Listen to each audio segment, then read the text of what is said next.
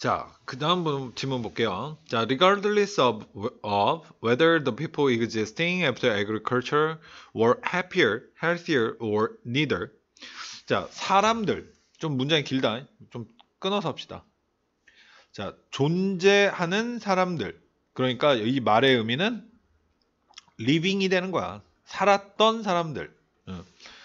그 농업 이후에. 그러니까 농업 이후에 존재했던 사람들. 그러니까 농경이 정착이 되고 나서 그 이후에 사람들이 자, 더 행복했든, 더 건, 건강했든, 혹은 둘 다 아니든. 리더라는 의미는 둘 다 아니든.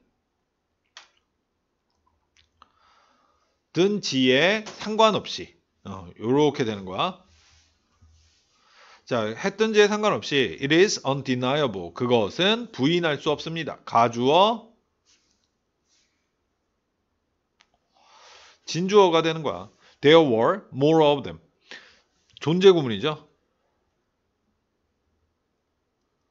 그들의 더 많은 사람들, 그러니까 더 많은 사람들이 있었다는 것은 부인할 수가 없습니다. 그러니까 사실이란 얘기죠. Agriculture both supports and requires 이 농업은 둘 다, 어, 그러니까 이거 했다.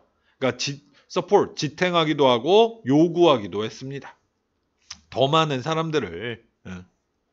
자, 뭐 하기 위해서 to grow the crops 그 곡물을 기르기 위해선 더 많은 사람들을 요구했습니다. 그리고 또 더 많은 사람들을 부양했습니다. 지, 음, 이럴 때는 부양하다라고 해석을 하겠죠. 근데 명사 뒤에서는 언제나 꿈이라 그랬어. 근데 어떤 곡물인데 that sustain them 그들을 지속시킨 곡물을 기르기 위해선 더 많은 사람들을 요구했고 더 많은 사람들을 또 이 곡물을 가지고 부양했습니다.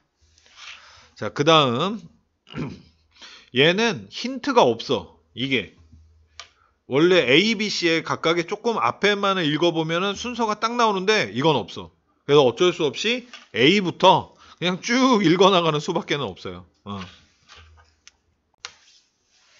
자, 그리고 더 큰, 더 큰 인구는, 더 큰 인구가 단지 의미하지는 않았습니다. 뭐를? increasing the size of everything. 모든 것의 크기를 증가시키는 것을 의미하지는 않았습니다. 여기가 목적어가 된 거야. 네, 당연히 또 동사겠죠? 자, like buying a bigger box of cereal for a larger family. 더 큰 가족, 그러니까 대가족을 위한 더 큰 시리얼 상자를 사는 것과 같이 모든 것의 크기를 증가시키는 것을 단지 의미한 건 아닙니다. It brings qualitative challenge in the way people live. 그것은 음, 질적인 변화도 가져왔습니다. 음, 방식에서 대타나가 생략된 거지 뒤에 주어 동사가 있으니까 자 그래서 또 명사 뒤에는 꾸며야 돼. 그러니까 사람들이 살아가는 방식에서 질적인 변화를 가져옵니다. 음. 근데 요거는 좀 어려운 힌트기는 한데 야 여기가 지금 현재 시제잖아 A가 그지 근데 아 여기도 현재 시제로 벌써 바뀌었구나 과거 시제에서 그러면 힌트로 쓸 수 없겠다 내용으로만 힌트를 잡아야겠다 자 estimates vary 추정치는 다양합니다 당연히 그러나 evidence points to 이 증거는 point to 가리킵니다 자, point to an increase in the human population from 1, uh, 1 to 5 million people worldwide from A to B 100만에서 500만 전 세계적으로 해서 a few hundred million 어, 100 million이니까 1억 1억이 되는 거야. 근데 a few 그러니까 수억 수억으로의 인간 인구에서의 증가를 가리킵니다.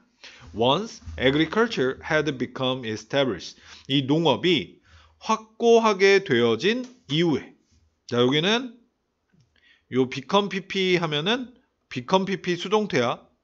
수동태를 나타내는 방법은 bpp, become pp, get pp 세 가지가 있죠. 그러니까 확고하게 되다. 근데 또 과거 완료를 쓴 거지. 과거 완료 수동태. 그래서 농업이 정책 정착된 이후에는 음.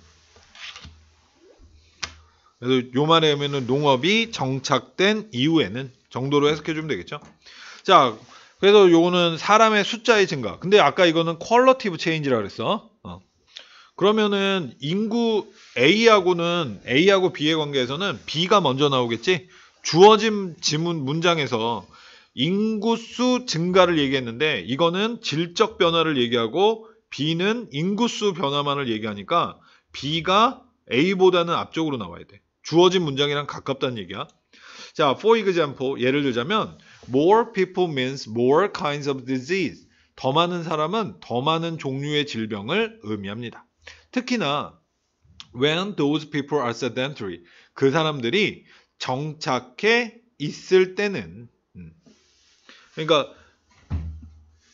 그 저기 뭐야 질병이 질병을 가지고 왔다가 그냥 떠나버리면 그냥 떠나버리면 상관이 없는데 사람들이 한 군데 모여 있으니까 위생상의 문제도 있을 수 있잖아. 그러니까 지금 방역에서도 어 그 한그 그 이제 같이 모이지 마라 모임 금지 막 이러고 그러잖아. 어. 자, those groups of people can also store 이럴 땐 저장하다 음식을 for long period 오랜 기간 동안 for 다음에 시간이 나오면 동안이라고 해석하는 거지 정, 저장할 수 있습니다. 그리고 그것은 콤마 위치 계속적 그러니까 그리고 그것은 그것은 creates a society 사회를 만들어냅니다. with haves and have-nots 가진 자와 그리고 가지지 못한 자들을 이럴 때는 함께가 아니라 가진이다. 가진 사회를 만들어냅니다. 그럼 이거는 인구수 증가가 아니라 qualitative change, 질적 변화에 해당되겠다. 그죠? 그럼 C는 이 질적 변화의 예시니까 A보다 뒤네. 그러니까 B, A, C.